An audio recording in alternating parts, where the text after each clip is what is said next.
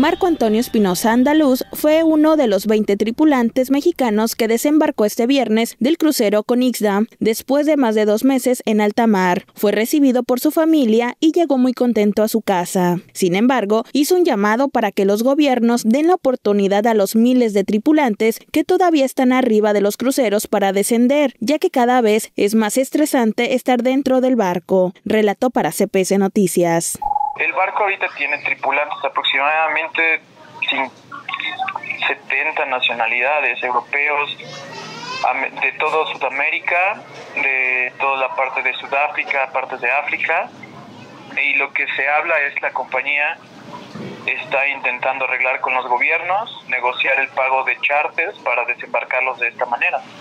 Espinosa Andaluz fue el tripulante que pidió auxilio la semana pasada al gobierno federal por medio de Twitter para que les permitieran bajar una vez que supieron que iban a estar anclados en Puerto Vallarta, ya que no les habían autorizado el desembarque. Si bien al principio de la pandemia en los cruceros estaban muy tranquilos, pasando los días el confinamiento era peor, por lo que solo querían regresar a casa, además de que él regresó desempleado del barco Nordam y después fue transferido al Conixdam.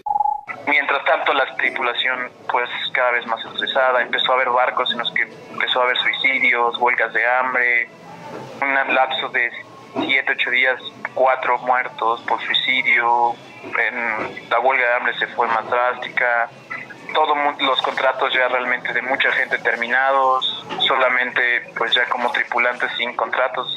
Cabe mencionar que CPC Noticias también pudo tener contacto con otra tripulante que se encuentra desde abril en el barco con Ixdown. Ella es Joana Abreu Ferreira, de nacionalidad portuguesa. Relató que ya es mucho tiempo el que ha estado aislada, cumpliendo con todos los requisitos para su desembarque, como el uso de máscara facial, distanciamiento social, habitación individual, comidas separadas con media hora para cada uno de los tripulantes, control de temperatura dos veces al día y más. Indicó que la compañía del crucero ha estado haciendo todo lo posible para mantenerlos seguros y saludables y para enviarlos de vuelta a casa. Desafortunadamente, nos lo niegan todos los países, incluso teniendo en cuenta que nunca tuvimos un solo caso de COVID-19 a bordo, expresó. Durante todo este tiempo, los intentos de ayuda para contactar a su país se hicieron de varias maneras, desde contactar con el consulado, la embajada, los ministros y muchas otras entidades, pero hasta ahora todavía están en Puerto Vallarta esperando una respuesta de las autoridades mexicanas sin tener idea de cuándo podrán regresar a casa con sus familias y seres queridos.